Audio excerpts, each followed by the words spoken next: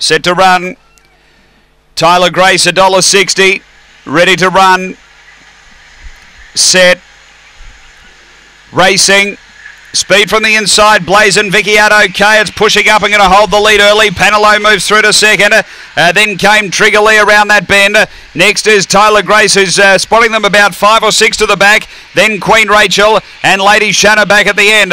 Down the back, the leader Blazing Vicky. The inside, Trigger Lee. Gee, Tyler Grace has improved real sharply. Next, Queen Rachel up to the bend. Tyler Grace moves out after the Blazing Vicky and Trigger Lee. Late Queen Rachel on the scene. Tyler Grace, Queen Rachel. Wow. Queen Rachel careered away for a big win over Tyler Grace. Third, we've either got Trigger Lee or Lady Shanna. Then came Blazing Vicky and Panelo is back at the tail end. It's three for Michael Stewart today. Queen Rachel. Michael Stewart, Paul Chester finished uh, far too well at big odds.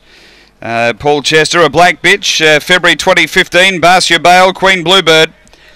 Number two, Queen Rachel, uh, getting the better of Tyler Grace, the favourite, Aussie Chegia. A Black Bitch, January 2015, Headbound Megastar Supreme.